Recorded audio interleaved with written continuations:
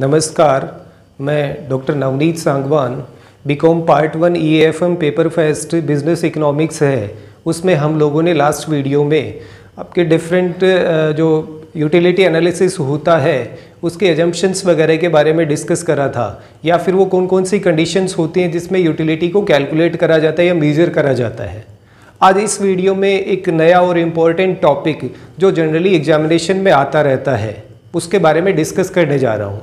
जो है आपका law of diminishing marginal utility सीमांत उपयोगिता हास नियम इस लॉ को प्रोपाउंड करने का जो श्रेय है, वो एक फ्रांसिस इकोनॉमिस्ट है, उनको जाता है, जिनका नाम एच एच गोसेन है। और इसीलिए इस लॉ को एच एच गोसेन का फेस्ट लॉ भी बोला जाता है, उनका प्रथम नियम भी बोला जाता है। हालाँकि इस लॉ को प्रोपाउंड है, वो इन्होंने 1854 में करा था, अठारह में। बट इससे chronological law of diminishing marginal utility है, या फिर क्रमागत सीमांत उपयोगिता हास नियम करने का जो श्रेय है, वो प्रोफेसर अल्फ्रेड मार्शल को जाता है। अब इस लो के अकॉर्डिंग मैक्सिमम स्टूडेंट्स ने ट्वेल्थ क्लास में स्टडी करा हुआ होगा। जैसे जैसे अपन किसी भी कमोडिटी है, उसका कंजम्पशन इंक्रीज करते हैं, उससे मिलने वाली यूटिलिटी है। वो डिक्लाइनिंग फॉर्म में होती है, यानी गिरते हुए क्रम में पाई जाती है। मान लीजिए आपको भूख लगा है, फिर आपने रोटी खाना स्टार्ट करा, एक, दो, तीन, चार, पाँच मैक्सिमम इतनी रोटियाँ खाई जाती है। पाँच रोटी खाते हैं, खाते खाते अपनी भूख है वो मिट जाती है। इसलिए उसके बाद में अपन कंज्यूम करते हैं तो फिर नेगेटिव यूटिलिटी अपने को मिलने लग जाती है। यानी जैसे जैसे किसी भी कमोडिटी का, हालाँकि ये लो है, वो प्रोड्यूसर्स पे या स्टॉकिस्ट है, उन पे भी अप्लाई होता है। जैसे जैसे आप किसी पर्टिकुलर कमोडिटी का स्टॉक इंक्रीज करने लग जाते हैं, उस सिचुएशन में आने के बाद में उस कमोडिटी को आप धीरे धीरे रिड्यूस करना स्टार्ट करेंगे। और उसका सिंपल रीजन होता है कि वो आपके पास में ओवर स्टॉक हो जाती है। यानी जितनी रिक्वायरमेंट है उससे ज़्यादा स्टॉक हो जाता है। और इसी चीज़ को कंज्यूमर बिहेवियर पे अप्लाई करते हैं तो अपन कंजम्पशन इंक्रीज करेंगे तो उससे मिलने वाली यूटिलिटी है वो डिक्रीज होने लग जाती है। यानी जैसे जैसे उपभोग बढ़ाया जाता है, सीमांत उपयोगिता है वो घटने लग जाती है। अब इकोनॉमिक्स में जितने भी लॉज की अपन स्टडी करते हैं, उसमें उसकी एजम्पन्स आती है या फिर एक वर्ड यूज़ आता है if other things remains constant unchanged और सेम यानी अन्य बातें समान रहने पे। तो वो अन्य बातें कौन सी हैं? या फिर आपकी assumptions of law of diminishing marginal utility क्या है? उसके बारे में पहले देख लेते हैं। जिसमें नंबर वन आता है होमोजीनियस यूनिट ऑफ़ कमोडिटी यानी कोई भी वस्तु है उसकी समरूप इकाइयाँ होनी चाहिए। तभी ये लो अप्लाई होगा अदरवाइज़ अप्लाई नहीं होगा। मान लीजिए आपने आ, कोई भी रोटी है वो खाना स्टार्ट करा। अब रोटी की साइज़ है, वो डिफरेंट डिफरेंट हो सकती है। मान लीजिए ये वाली साइज़ की रोटी आप कंज्यूम कर रहे हैं तो नेक्स्ट रोटी है, वो इसी साइज़ की होनी चाहिए। ये नहीं हो कि उसकी साइज़ बढ़ा करके ये कर दी जाए। तो होमोजीनियस प्रोडक्ट या कमोडिटी होना चाहिए। और होमोजीनियस है वो एवरी एस्पेक्ट में। यानी वो आपका क्वांटिटी वाइज क्वालिटी वाइज और साइज़ वाइज तीनों केस में एक समान होना चाहिए। उसी केस में ये लो अप्लाई होगा अदरवाइज़ अप्लाई नहीं होता है। फिर सेकंड आता है आपका कंटिन्यूटी इन कंजप्शन यानी उपभोग है, उसमें निरंतरता होना आवश्यक होता है। आपने मान लीजिए अभी एक रोटी खाई है, फिर एक घंटे के बाद में दूसरी रोटी आप कंज्यूम कर रहे हैं, या फिर अपन वाटर पे अप्लाई करें तो उसमें एक सिंपल आपके क्वांटिटी या स्टैंडर्ड यूनिट है, एक ग्लास ऑफ़ वाटर माना जाता है, पानी का एक ग्लास अभी आपने एक गिलास पिया, फिर दो घंटे बाद में एक गिलास पानी और पी रहे हैं। तो उस केस में उससे मिलने वाली यूटिलिटी कम नहीं होती है। इसीलिए कहते हैं कि कंजम्पशन है, उसमें कंटिन्यूटी होना रिक्वायर्ड होता है। और कंटिन्यूटी होगी तो उस केस में जो भी आपकी वॉन्ट होती है, वो सेटिस्फाई होती जाती है। और मिलने वाली यूटिलिटी है, वो डिक्लाइनिंग फॉर्म में, यानी डिमिनिशिंग फॉर्म में, गिरते हुए क्रम में होती जाती है। फिर थर्ड आता है एडिक्वेट यूनिट यानी उसकी समुचित इकाई होनी चाहिए। समुचित इकाई है, वो आपके अलग अलग कमोडिटी के केस में अलग अलग होता है। जैसे चाय की अपन बात करें तो एक कप ऑफ़ टी एक चाय का कप है, वो उसकी स्टैंडर्ड यूनिट हो जाता है। ऐसे ही पानी की बात करें तो एक ग्लास ऑफ़ वाटर हो गया, यानी पानी का एक ग्लास हो गया, रोटी एक स्टैंडर्ड साइज़ की होनी चाहिए, यानी यूनिट है, वो आपकी अप्रोप्रिएट या एडिक्वेट होनी चाहिए। ऐसा नहीं हो कि आपने पानी पीना स्टार्ट करा और एक एक बूंद आप पानी पीते जा रहे हैं तो डेफिनेटली आपकी प्यास है, वो नहीं बुझने वाली होती है। तो उसकी स्टैंडर्ड यूनिट होनी चाहिए या फिर एडिक्वेट यूनिट है, वो उसमें होनी चाहिए। फिर फोर्थ पॉइंट आता है price of commodity and its substitute remains constant यानी जिस वस्तु के रिगार्डिंग हम law of law of diminishing marginal utility की स्टडी कर रहे हैं, उसकी प्राइस और उसके सब्सटीट्यूट गुड्स हैं, उनकी प्राइस है, उसमें कोई चेंज नहीं आना चाहिए। अगर सब्सटीट्यूट गुड्स की प्राइस में चेंज आता है तो डेफिनेटली आप जिस पर्टिकुलर कमोडिटी को कंज्यूम कर रहे हैं, उसकी डिमांड पे भी इम्पेक्ट आता है। मान लीजिए सब्सटीट्यूट गुड्स है, वो सस्ता हो जाता है तो आप अपना मेन प्रोडक्ट को छोड़ के सब्सटीट्यूट है, उस पर शिफ्ट हो जाते हैं। और अगर उसकी प्राइस इंक्रीज हो जाती है तो आप सेम पे उस पर बने रहते हैं। फिर नेक्स्ट आता है नो चेंज इन मेंटेलिटी मानसिक स्थिति में कोई परिवर्तन नहीं होना चाहिए। ये जो मेंटेलिटी की बात है, ये कंज्यूमर के रिगार्डिंग करी जा रही है। अगर आपका माइंड सेट है, वो बार बार या आपका मूड है, वो बार बार स्विंग करता है, उसमें चेंजेज आते हैं तो उस केस में ये लो अप्लाई नहीं हो सकता है। मान लीजिए, अभी आपने मीठा खाया, फिर उसके बाद में नमकीन खा लिया तो इस टाइप से आपका मूड स्विंग होगा। उस केस में law of diminishing marginal utility है, वो अप्लाई नहीं होता है। इसीलिए आपके मेंटल स्टेट में या मेंटल कंडीशन में कोई चेंज लो की स्टडी टाइम ड्यूरेशन में नहीं आना चाहिए। फिर नेक्स्ट आता है income taste fashion and habits should remains unchanged यानी कोई भी उपभोक्ता है, उसकी आय, उसकी रुचि क्या है फ़ैशन क्या है, आदतें क्या है, वो उसमें कोई चेंज नहीं आना चाहिए।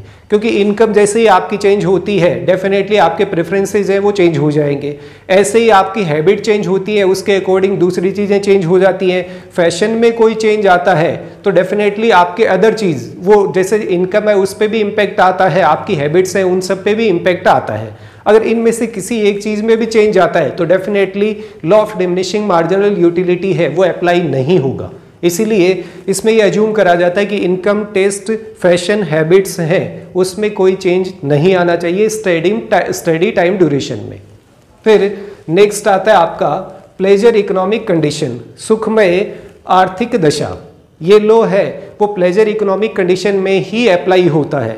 मान लीजिए आप सैड हैं, दुखी हैं तो उस केस में कुछ लोग होते हैं जो इमोशनल एटर होते हैं, जब दुखी होते हैं तो ज़्यादा खाते हैं। और उनको उससे ज़्यादा सेटिस्फेक्शन है, वो भी ज़्यादा मिलता है। इसीलिए इस लॉ को अप्लाई करने के लिए रिक्वायर्ड है कि कोई भी कंज्यूमर है, वो प्लेजर इकॉनमी को फील कर रहा होता है।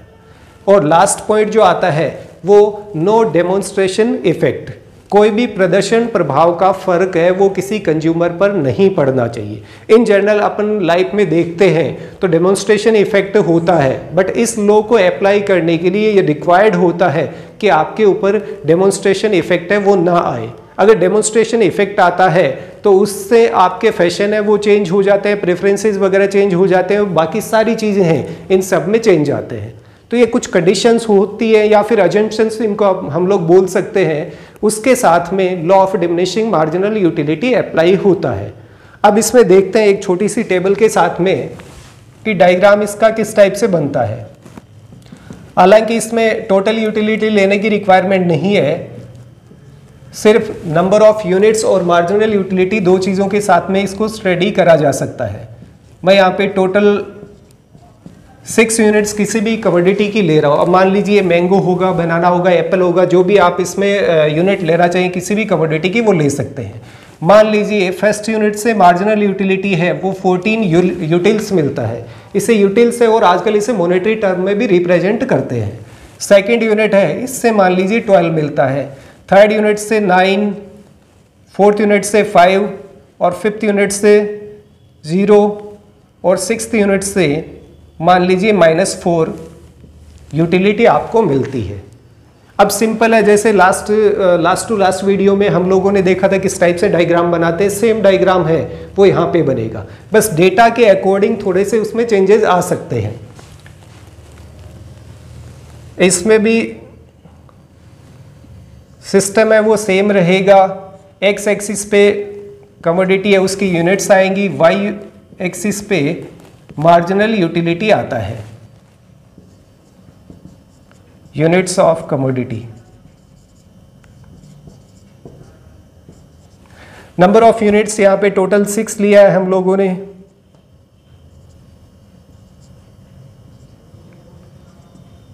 सिक्स और इसमें टू का स्केल रखा जा सकता है।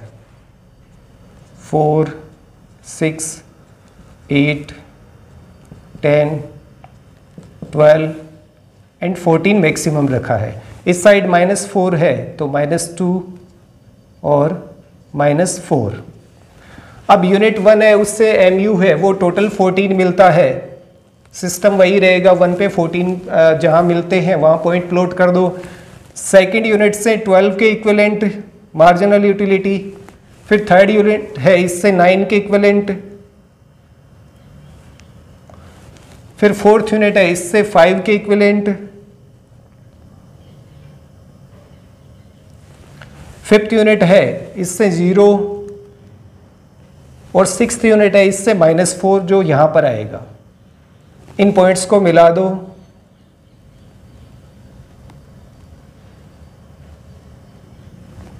ये मार्जिनल यूटिलिटी कर्व हो जाता है. ठीक है? इसमें जो ये फुल सेटिस्फेक्शन पॉइंट होता है।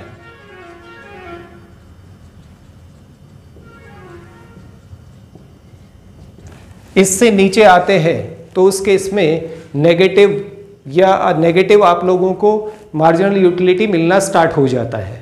यानी यूनिट वन पे 14, टू पे 12, फिर थ्री पे नाइन और उसके बाद में फोर पे फाइव इस टाइप से जो पॉइंट्स निकलते हैं उनको मिलाने से मार्जिनल यूटिलिटी कर्व निकलता है। जहाँ पर ज़ीरो मार्जिनल यूटिलिटी होती है, वो फुल सेटिस्फेक्शन पॉइंट या पूर्ण संतुष्टि बिंदु माना जाता है। अब इस डायग्राम से भी प्रूव हो रहा है कि जैसे जैसे आप कंजप्शन बढ़ा रहे हैं, पहले यूनिट पे 14 था, फिर कंजप्शन इंक्रीज करा सेकंड पे 12 हो गया, फिर कंजप्शन इंक्रीज करा थर्ड पे 9 हो गया, फिर कंजम्पशन इंक्रीज करा फोर पे फाइव हो जाता है, फिर कंजम्पशन इंक्रीज करा तो वो फिफ्थ यूनिट वो हो जाती है, जहाँ पे आप फुल्ली सेटिस्फाई हो जाते हैं। यानी उसके बाद में कंजप्शन इंक्रीज करने की सिचुएशन नहीं रहती है। अब उसके बाद भी आप कंजप्शन इंक्रीज करते हैं तो मार्जिनल यूटिलिटी है, वो नेगेटिव होने लग जाती है। यानी लो के अकॉर्डिंग हम लोगों ने अज्यूम करा था, या फिर लो ये बोलता है कि जैसे जैसे आप कंजप्शन इंक्रीज करते हैं, मिलने वाली मार्जिनल यूटिलिटी है, वो डिमिनिशिंग फॉर्म में होती है।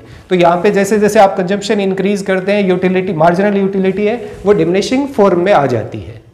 तो इसमें आज के इस वीडियो में दो तीन चीज़ें देखी। एक तो मार्जिनल यूटिलिटी होता क्या है?